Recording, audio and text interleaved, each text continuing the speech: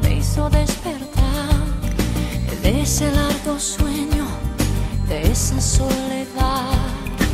Caminar junto a tu lado era natural. Contigo me escapé del mundo a otra dimensión. En tus brazos yo sentía que perdía la razón.